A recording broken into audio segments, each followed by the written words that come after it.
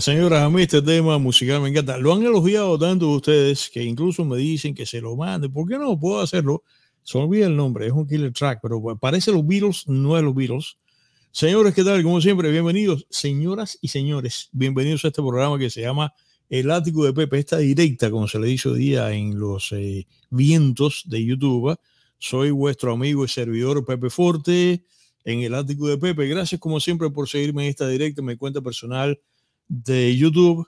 Y hoy, señores, vamos, señoras y señores, vamos a tener un programa hoy bonito, un programa que clásico, esto es el, el cual nos vamos a montar en esta propuesta que es la máquina del tiempo, pero en la máquina del tiempo que habitualmente, como suelo decir, a veces me confundo, digo allá para acá, de aquí para allá, ¿cómo es que nos vamos a visitar en la máquina del tiempo?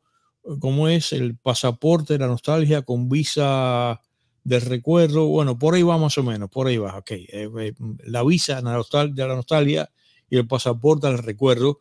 Pero hoy, eh, aquí lo tengo en la mano, aquí la tengo en la mano. Hoy aquí, junto con ese viaje a la nostalgia del pasado que vamos a hacer en esta propuesta la máquina del tiempo, te voy a decir el tema que vamos a abordar acá, pero vamos a tomarnos una pastillita de candor. Mira qué bonita, ¿eh? claro, está muy gruesa la pastillita de candor. Te la dejo para después. A foco la cámara. No, no, hacer foco. Bueno, por aquí. Aquí está la pastillita de candor. La pastillita de candor Blix. A tomar la pastillita de candor. ¿Por qué razón? Porque, señores, hoy, no sé ni por qué se me ocurrió, el programa que tenemos aquí en el ático de Pepe hoy con tu amigo Servidor Pepe Forte es los cuentos infantiles, debo decir los cuentos infantiles de Cuba o los cuentos infantiles en Cuba, bueno, por ahí va. Debe ser los cuentos infantiles en Cuba, en mi época de Cuba, en los años 60, cuando yo era un niño. Eh, como siempre, como voy a personalizar, me pongo entonces un poco egoísta y por eso estoy poner ese marco, ese frame, ese frame time, ese time frame de tiempo que es los años 60. Pues, por supuesto que quien quiere irse más atrás, más atrás, y, y seguramente mis seguidores más jóvenes de ahora, mm, no sé, porque los millennials, de Cuba, la generación de mis hijos, que crecieron ya en los años 90, en los 80, en los 90, en que ya había juegos electrónicos, no como ocurre en los Estados Unidos, pero acaso el hábito de la lectura también en Cuba, porque la familia de aquí le enviaba a los niños de Cuba estos juegos. Eh, ellos seguramente comenzaron con Nintendo, de se fuera y fue, seguramente se fueron moviendo a, a PlayStation, a, eh, ¿cómo es este que se llama? Xbox y así. Y yo no sé si los millennials, ya en, la época de niños que estoy refiriendo, que es la época de infancia, lo que fueron los 80 y los 90, sobre todo los 90, sí leían. En la época mía sí crecimos rodeados, por eso es la pastillita de candor, del candor de los cuentos infantiles. Y lo que me refiero hoy, que vamos a abordar aquí, y seguramente sé que muchos de ustedes se van a sentir identificados con el tema, no son exactamente las piezas que podría hacerlo de literatura como tal, de literatura infantil, sino que vamos a una cosa mucho más simple, a pesar de que tenemos una mención de literatura seria, para mí adorable, pero vamos a referirnos a lo que eran los folletines, no las historietas, sino los cuentecitos de niños que se imprimían en Cuba, ya aquí comienzo a historiar para la gente que es contemporánea con mi edad, esta editora que se llamaba la editora juvenil, cuando yo era niño, que recordemos que yo siempre, para mis amigos que no son cubanos, que les cuento, ya se han venido aprendiendo la historia, que Cuba es una cosa antes del 59 y Cuba es otra cosa lamentablemente después del 59. El año 59 es un parteaguas. Como el 59 significa la Cuba estalinista, comunista, maledictiana, lo que tú le quieras llamar, ocurre que dejó de ser un país como había sido un país capitalista para convertirse en un país de la órbita soviética y naturalmente casi de sopetón al principio lo que fue la propiedad privada eh, pues eh, fue extinguida y naturalmente una de las cosas a las cuales se les entró con más fuerza por parte del gobierno fue a la prensa, a la imprenta, a las imprentas incluso que las imprentas fueron intervenidas porque las imprentas imprimen palabra directa, tangible podríamos decir, de manera que las imprentas todas fueron intervenidas y vinieron a parar bajo una entidad estatal, aquello que se llamaba la consolidación, que toda era empresa consolidada de, empresa consolidada de fideos, empresa consolidada de cuanto Dios creó, y las imprentas fueron todas metidas a una entidad que se llamó eh, la Imprenta Nacional de Cuba, que era que todas las imprentas, las grandes y las chiquitas que eran privadas, vinieron a parar, fueron intervenidas. eh, por supuesto que los dueños no fueron indemnizados y se creó una gran entidad que primero todavía en los años 60 todavía funcionaba. Funcionaba por varias razones. Una, porque las imprentas había, como se dice, chinchalitos, había imprentitas muy viejas que tenían maquinitas muy viejas que funcionaban, pero Cuba tenía imprentas modernísimas. Cuando aquí comentamos el programa que hicimos dedicado a la historia de la revista Selecciones, la imprenta Omega, que estaba en el cerro, que es donde justamente se imprimía selecciones, era una imprenta offset con la última tecnología y había imprentas muy modernas. De manera que al ser intervenir las imprentas, muchas de estas imprentas imprimían los grandes libros de las grandes editoras cubanas o las editoras extranjeras que tenían base en Cuba que imprimían allí y el volumen editorial de Cuba era muy bueno y las piezas, yo tengo aquí libros de los años 50 que eran de mi padre y que tenían, tú sabes, de contracubierta, o sea, de portada dura, eh, con eh, sobrecubierta de papel, una maravilla. Eso todo se fue extinguiendo, pero justamente bajo este fenómeno de la imprenta nacional de Cuba, se imprimían también en este periodo mío de infancia, no solamente se imprimió literatura infantil, que sería otro libro, perdón, otro programa, por ejemplo, hablar aquí de 20.000 leguas de submarino, que sería estos autores que son de lo que se considera literatura juvenil, que es el caso Salgari, que aquí lo hicimos, y, por ejemplo los viajes de Gulliver, pero yo lo que me refiero en este caso no es a libros o a literatura infantil seria que la había, sino a los libritos, a los libritos estos que tú comprabas, bien ilustrados, eh, bonitos en colores, con historias infantiles, eh, tanto las extranjeras, aquellas que tenían que ver con Hans Christian Andersen, como con lo que fuese, que se imprimían en Cuba, realmente los libros para niños, estos libros chiquitos, chiquitos, bueno, chiquitos me refiero a género, pero en realidad se trataban de que fueran grandes con colores, porque un niño lo que le interesa es las figuritas, como se dice. Y en este periodo que te cuento de la Imprenta Nacional de Cuba, había dentro de la Imprenta Nacional de Cuba, había una editora que se llamaba la editora juvenil, que imprimía cosas muy buenas, que después, ya para finales de los años 60, vino esta, esta porquería, porque no? Que se llamaba Gente Nueva, que ya era una caricatura lo que tenía que haber sido. Pero el caso es que en esta época que te cuento, pues yo tuve acceso a estos libros y eso es lo que quiero exactamente recordar aquí hoy contigo. Y de aquellos que eran cuentos clásicos cubanos, pero ¿qué pasa? Ya teniendo en cuenta que yo nací personalmente en el 57, tanto ustedes que son mis seguidores igual, en esa época, a finales de los 50, principios de los 60, ya a principios de los 60 esto resulta interesante si cabe el término, en esta explicación, comenzamos a recibir el embate de la presencia soviética. Ya Cuba está en la órbita del Kremlin. Primero, modestamente, él se pelea con Khrushchev con la crisis de los misiles, que este año, dentro de poco, viene el programa porque en octubre de este año es un aniversario redondo de esas circunstancias. Pero de todas maneras, ya en esta época, los niños de, que habrían tenido mi edad en, las, en los años 60, tan solo apenas cinco años antes, antes del 59, ocho años antes, diez años antes, no consultaban los libros y las historietas infantiles que insospechadamente nosotros comenzamos a recibir y a leer, y me refiero que a las historias que venían de la Unión Soviética. Ok, vamos por parte. De la Unión Soviética venían cuentos tradicionales rusos que al fin y al cabo formaban parte del folclore ruso, no de la cosa soviética, antes del 17, y que fueron de alguna manera respetados. A veces los contaminaban un poco, pero iban siendo respetados.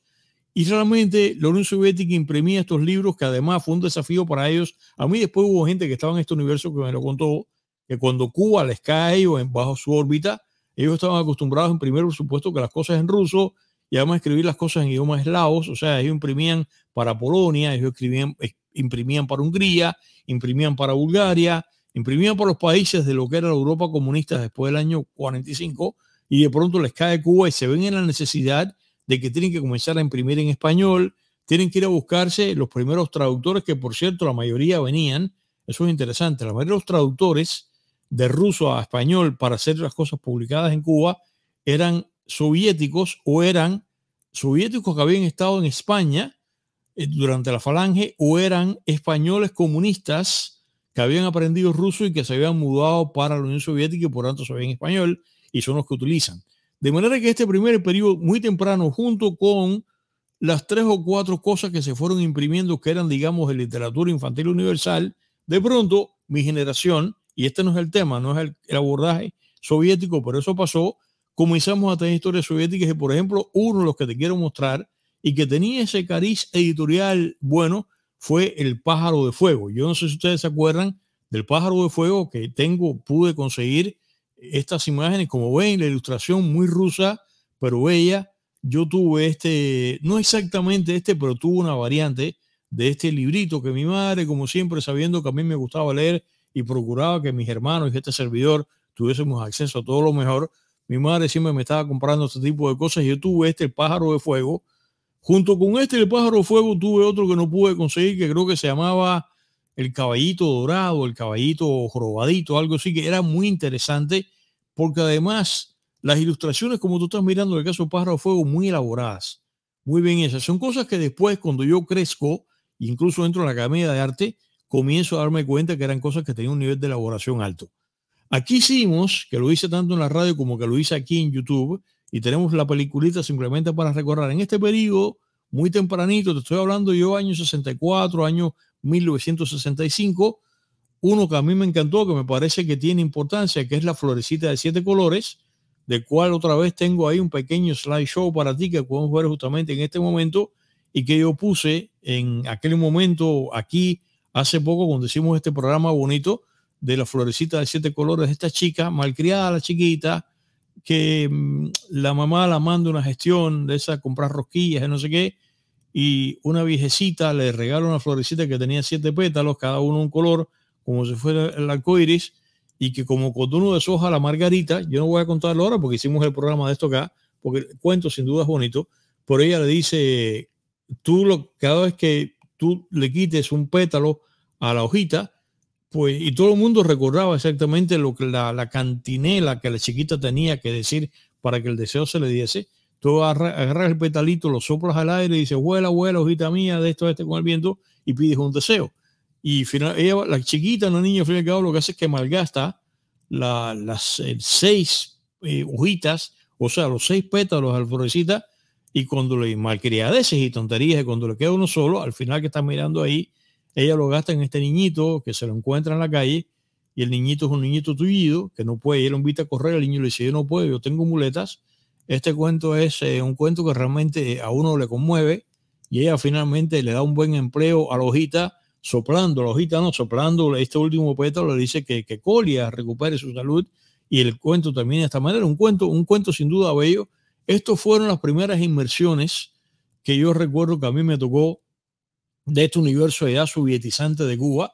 Pero este en este caso lo agradezco porque curiosamente, para después, según esto todo avanzando, uno comienza entonces a tener acceso obligadamente a literatura de este corte que tú te das cuenta que o bien veladamente o diáfanamente estaba contaminada por cosas políticas, por cosas estalinistas, aunque esto es el periodo post-estalinista, pero esta historieta bonita de la florecita de los siete colores no va por ahí, sino que esto es un cuento que por eso yo lo traje a bordo del programa en radialmente, radialmente hace años y lo traje acá.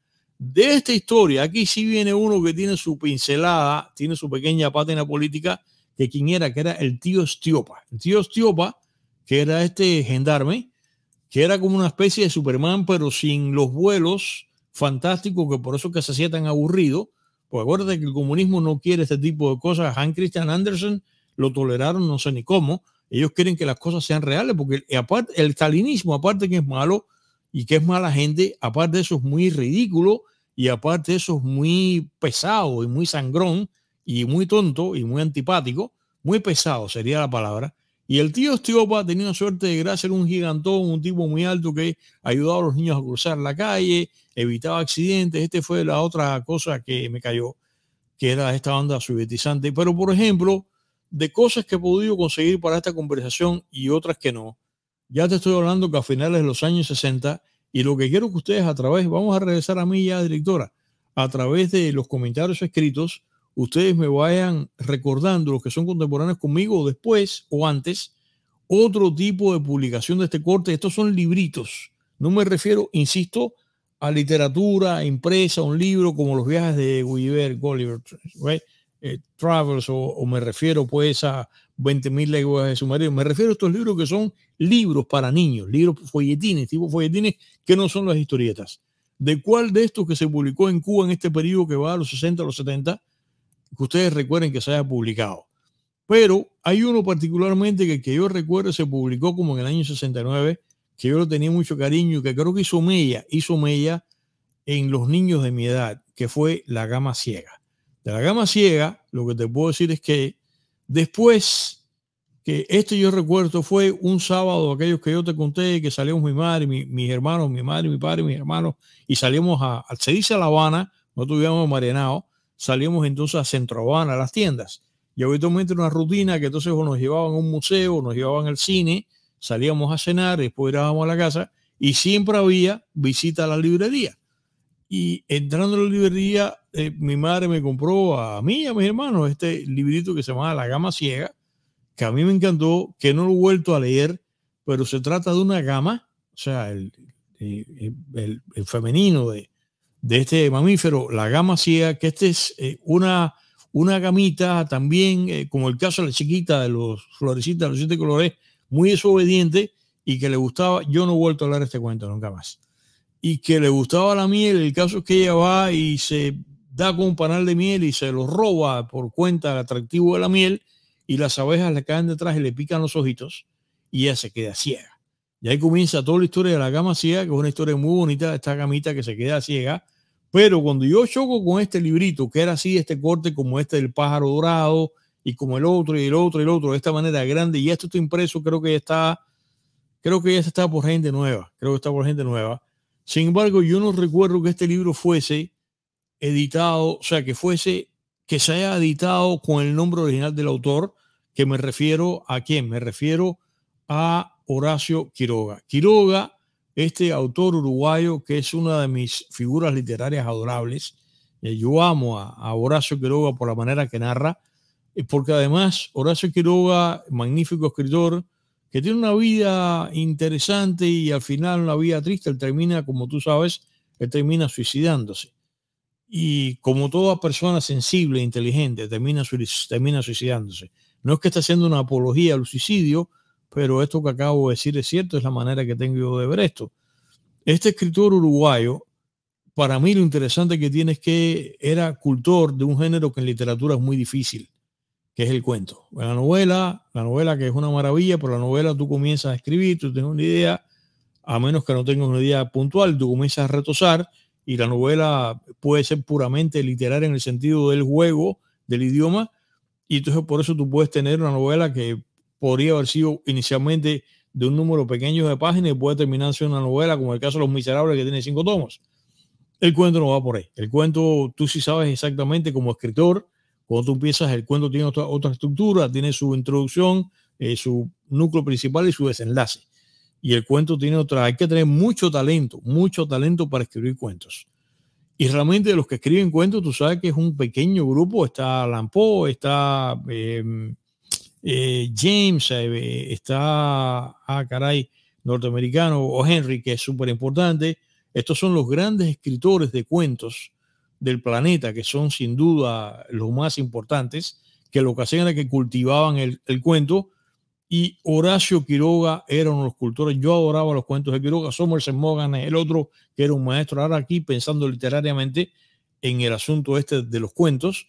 Y Quiroga lo era. Y Quiroga escribió un libro para niños que fue publicado en el año 1918, que era un libro exactamente que se llamaba Cuentos de la Selva, pensado para niños y ahí justamente en Cuentos de la Selva es que aparece la gama ciega el cual yo doy con este volumen, pero yo inicialmente yo no doy con la gama ciega a través del volumen exactamente Quiroga, sino que lo doy a través de este librito cuya ilustración y cuya portadilla, esta no es exactamente, pero por ahí va, eh, acabas de ver. Ahora, estoy haciendo este programa porque lo que quiero es de una manera muy egoísta que ustedes me ayuden, porque una cosa es este tema que estamos abordando aquí para la memoria, para que ustedes recuerden los que son contemporáneos conmigo y recuerden libros de este corte y me los digan acá y si encuentran las fotografías las publiquen en este espacio, sino que hoy realmente, y yo no sé ni siquiera por qué yo aterrizo en esto acá,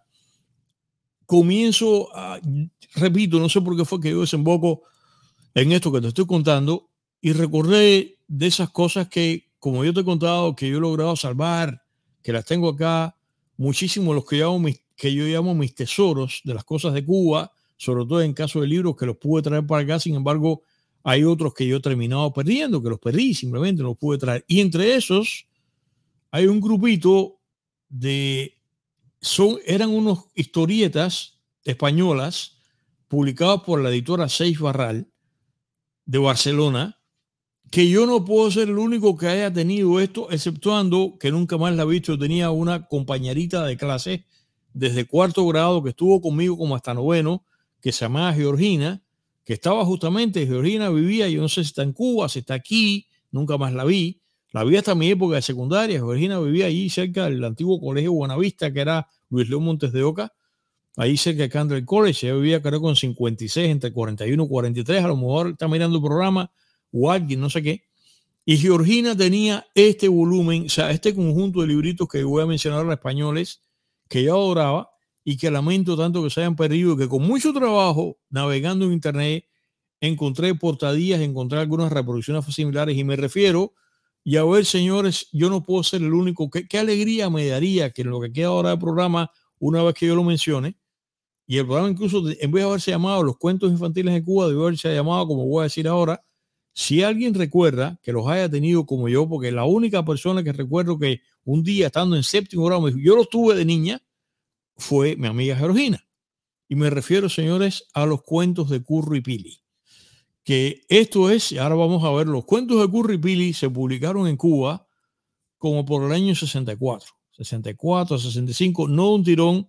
Se publicó primero uno, después se eran varios.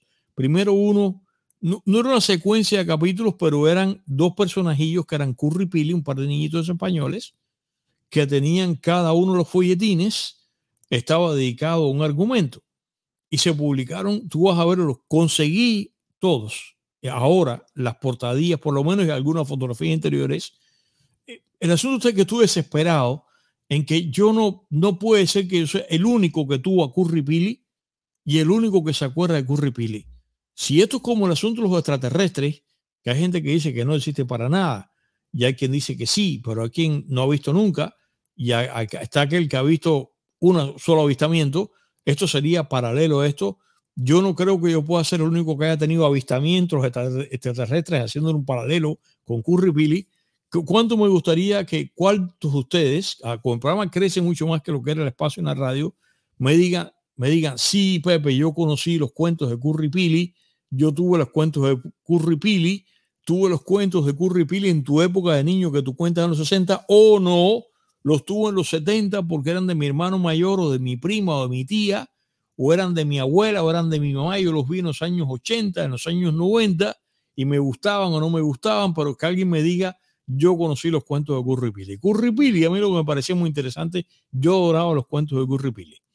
Eran un folletín flaco, apaisado, a diferencia de estos cuentos que yo estaba mencionando hasta ahora, como el caso de los soviéticos y los otros, que son realmente de corte vertical la florecita de los siete colores, el pájaro de fuego. Hay uno que se me quedó fuera que me encantaba, que era el doctor Ahí me duele. El doctor Ahí me duele, que era también soviético, que era una especie como Dr. Doolittle, el médico este veterinario de los animales. Este es uno de los primeros. Esto, doctor Ahí me duele, creo que yo estaba en primer grado cuando esto se vendió en Cuba. Así que esto tiene que haber sido años 63, 64, muy tempranito. Y a mí me gustaba muchísimo, he de decir, el doctor es muy bueno porque tú eres un niño, después que tú creces, es que tú empiezas a ver este acento de corte político, de que hasta en eso ya hay un acento, una cuña de corte político en esta Cuba de los años 60, pero además, por otro lado, todavía en esta etapa, muchos de estos cuentos, menos el, el tío Estiopa. El tío Estiopa no es que fuera político, pero el tío Estiopa de todas maneras tenía suerte de barnicillo. ¿Por qué? Porque era un agendarme, era un, era un policía y entonces se veía las escenas en la calle, había alguna referencia a la vida soviética, mientras que esto que te conté de El pájaro de fuego, que es un cuento tradicional ruso, o esto mismo que te estoy contando, el doctor y me duele, que es un veterinario buena gente, que lo que hace es que cura a los animales, aquí realmente no hay acento político, esto es la misma historia de la florecita de los siete colores, esto es eh, totalmente inocuo, pero hay otros que sí y se me había olvidado mencionar doctor me duele, pero decía esto porque ahí me duele y el pájaro de fuego y el caballito no sé qué y la florecita de siete colores y la gama ciega eran folletines verticales, sin embargo Curripili no. Curripili eran apaisados y a mí Curripili quizás de una manera intuitiva o instintiva en que yo estoy viviendo en una Cuba en que yo sé que es un país comunista que no es el país que yo quiero vivir o el país en el que yo habría querido vivir, uno se empieza a dar cuenta que esto es muy interesante, aún dentro de la inocencia de la infancia, uno empieza a darse cuenta que hay dos mundos, que es el mundo este de porquería que estamos viviendo y un mundo que se llama el capitalista, que en mi familia yo sí sabía que era un mundo bueno, en otra familia los niños comunistas dirían que no, que era un mundo malo, porque esas cosas se pasaban en Cuba, pero e, en el caso de mi familia yo sí tenía la idea de que el capitalismo era lo contrario a lo que estaban diciendo y por tanto uno valoraba y se daba cuenta que las producciones y las cosas que se hacían, el capitalismo, que viniese en un país que no era la joya de la corona, como el caso de España, pero uno se da cuenta que tenía otra factura y que tenía otra historia. Y yo no sé por qué razón los cuentos de Curry Pili siendo españoles, que además no hablaban de política franquista para nada, pero tampoco eran como despuesto material infantil que se vende en Cuba que tenía que ser definitivamente comunistón. Esto no es este caso. Estos son dos Curripili son dos niñitos españoles que, por cierto, cuando a mí en mi casa me decían que yo parecía curro, muchachos me ponía insultado. Yo no quería parecerme a curro, pero a mí dicen que parecía un galleguito, que era, ok, y eso cada vez que me decían eso, yo me quería, no me gustaba para nada, pero bueno. Curripili eran dos niñitos, ¿y qué es lo que es? Se trata de un conjunto de, estos historietas que no se vendieron de un palo, se vendieron uno ahora mi madre sabía que iba a ser así cuando el segundo comenzó a procurar. Yo no sé qué malabares hizo mi mamá para que creo que todos los que se publicaron en Cuba en la casa los tuviésemos y yo los adoraba. Creo que eran seis o eran siete. Fue el el primero, salió el segundo, salió el tercero, así. Por lo que he podido averiguar, Curripili se publicaron en España entre el año 57 y el año 1960. Y era el clásico librito para, para pintar, o sea que tiene cosas en colores y páginas en blanco y negro para que tú colorees. Pero por cierto, yo no sé qué pasó, que cuando a mí me compraron esos libros, yo inmediatamente los utilizaba para eso.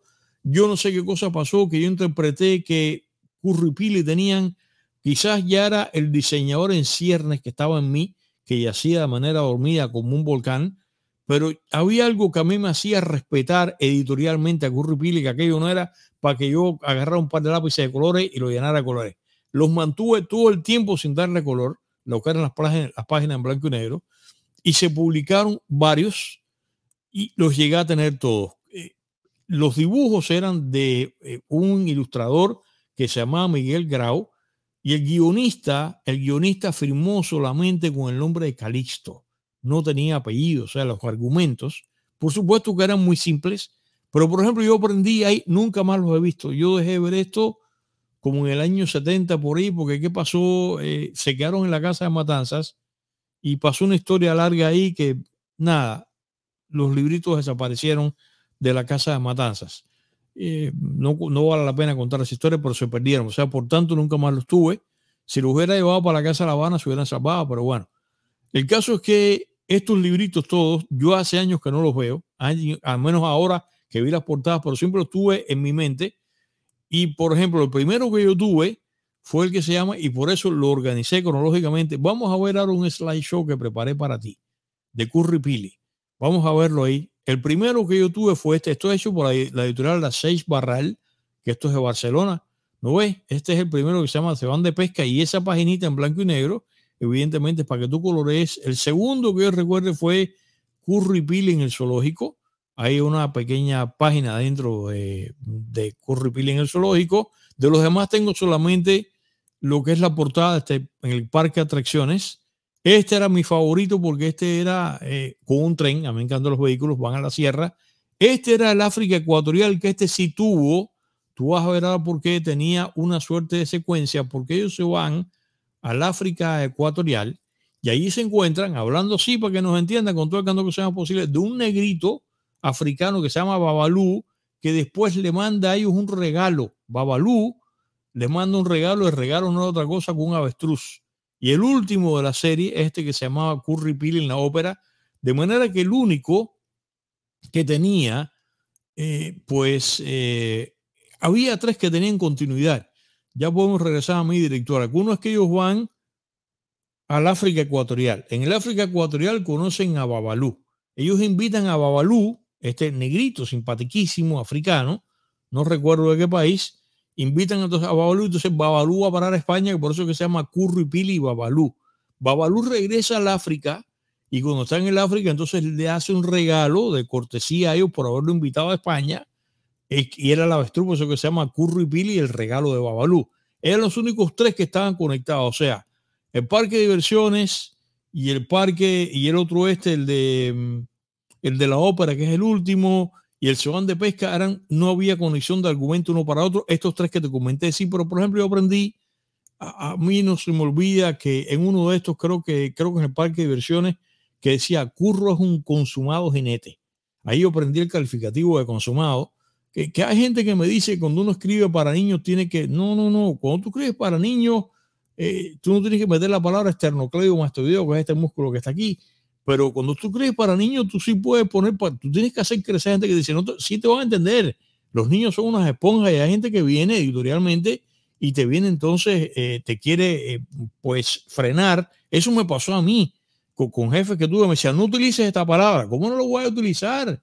Si yo aprendí cosas así leyendo literatura infantil, como esto, a menos olvidó nunca esto de consumado jinete, fue ahí. De modo que este es el, este, este conjunto de libritos que se llamaban así Curro y Pili, los cuentos de Curro y Pili, que yo daría a la vida por tenerlos. Y este es el programa hoy que va a ser muy breve, porque yo no sé por qué razón en los vericuetos de la mente, uno andando por los laberintos de la mente, es lo que quiero decir, de pronto uno aterriza, eh, como suelo decir aquí a veces, que, que la mente de uno, de cualquiera, es como que uno entra por un hotel fantástico, entra por un pasillo, como pasa cuando tú estás en un hotel, un hotel grande y están las puertas de las habitaciones que están habitualmente cerradas, pero imagínate que tú te encuentras con un hotel fantástico cuyas puertas todas están abiertas y tú decidas entrar, como pasa en esta serie española que se llama El Ministerio del Tiempo, y cada que tú abres una puerta, pues tú entras en un mundo distinto y la mente de esa manera. Y yo andando hoy por uno de los pasillos del hotel de mi mente, pues resulta que de pronto abro una de estas puertas y una de estas puertas estaban los muñequitos de Curry Billy. Y por eso fue que aterricé aquí. Pero mi pregunta es esta, en una suerte de, de marco casi de angustia, eh, preguntar con angustia, ¿Quién, usted, fui acaso yo el único que tuvo los cuentos de Curry Pili? ¿Alguno de ustedes vio los cuentos de Curry Pili? ¿Se acuerda? ¿Los tiene? ¿Los tuvo? ¿Los conserva todavía? ¿Los vio en algún sitio? Si los tuvo, ¿se acuerda? Yo sí los recuerdo como si fuera ahora. Incluso está bastante los argumentos a cada uno de estos. Ya digo, mi preferido este es de la sierra, se van a la sierra porque tenía el tren, que los vehículos a mí me encantaban. Y lo que pasó fue que yo recuerdo que mi hermano menor y este servidor nos los dividimos. Esas cosas, los muchachos, son tres para ti, tres para ti. Y uno de los que era mío, claro, los compartíamos, los leíamos en conjunto, no pasaba nada, pero había una suerte de propiedad loca. O sea que los muchachos son así. Este es de la sierra, este era mío y este era uno de los que yo más visitaba. Creo que en este se van de pesca, creo que es, yo aprendí la palabra transatlántico, que yo le paso un barco, un transatlántico por al lado. En fin, uno aprende, ¿no? Pero señores, mis queridos amigos, e, esto es un programa brevísimo que tenemos hoy y yo me pregunto, me pregunto, ¿yo acaso soy el único que recuerda los cuentos de Curry Pili? Qué bueno sería que ustedes me los dijeran a través de los comentarios. Me sí, Pepe, fuiste el único, el único. No podemos acompañar en tu angustia, en tu ansiedad, en tu incertidumbre de si fuiste el único o no, o sí, por el contrario, yo los tuve y aquí están cuánta alegría me daría que eso pasara. Así que eh, tenemos un programa extremely short, extremadamente corto hoy. Hablando esto, de ya para cerrar, de los cuentos estos de niños de, de Cuba, incluso los que eran de factura nacional, quiero saludar, o sea, en el caso del profesor Sellagro, que tú sabes que es Orgayes al revés, o Orgayes el apellido, él hizo escribió como guionista, aunque el ilustrador fue otra persona, uno que se publicó en Cuba como en el año 71, por ahí, 70, 71, que se llamaba Germancito y la cueva, que era un niñito que se mete en una cueva, y era uno de esos libros que tenía ciertas pretensiones didácticas, que era enseñar a los niños, a los niños enseñar espeleología y palabras, era un, era un buen libro, ese era de esa manera, Germancito y la Cueva. Yo no sé qué otro más de este tipo de folletín que se publicó en Cuba en este periodo de los años 60 y parte de los 70. Después viene la crisis ya de los 70, entonces se fue por la ventana. Pero yo tuve la fortuna que todavía, en primer lugar, porque era un asunto de cultura, que esto no fue reemplazado como pasa ya en los 80 y los 90 por los videojuegos, los juegos electrónicos. Yo vengo de una época todavía en que los niños leían y que existía este tipo de universo de panorama bonito de que uno aprendía, se entretenía hojeando estos cuentos de niños que, a los cuales yo tuve acceso durante mi época de infancia, que es exactamente la década de los 60. Así que gracias y vamos a ver si alguno de ustedes me dice que sí, que tuvo los cuentos de Curripilio, los conoció y por ahí va. Gracias como siempre. Si les ha gustado el contenido de este programa hoy, que es distinto y más breve, acaso más nostálgico, no sé qué otra manera de escribirlo, bueno, pues por supuesto que como siempre continúen suscribiéndose a nuestro programa cada vez que lo hagan, presionen la campanilla para que les avise cuando estemos en vivo o cuando subimos un material nuevo, lo cual ocurre aquí de lunes a jueves sobre las 8 de la noche. Eh, de esta manera, si les gustó, den like, que esto es muy bueno para darle eh, vida cibernética al programa. También hagan share. Si ustedes se encuentran en las plataformas digitales y sociales, alguna que tenga una dirección afín a cada tema que tocamos acá, como por ejemplo este de hoy particularmente, pues copien el URL, lo ponen ahí para que el programa crezca, el programa se disemine por ahí, vaya por ahí. Y sobre todo sigan corriendo la voz de que el ático de Pepe ahora pues se navega en las aguas de no procelosas de, de YouTube, así que nada, auxilio, auxilio, díganme si ustedes tuvieron los cuentos de Curry Pili, me lo dicen aquí en el show de Pepe Forte, el storyteller de YouTube. Gracias como siempre, gracias también por los super chats, los super stickers. Así que nada, mis queridos amigos, muchas gracias, muchas gracias, muchas gracias y bye bye.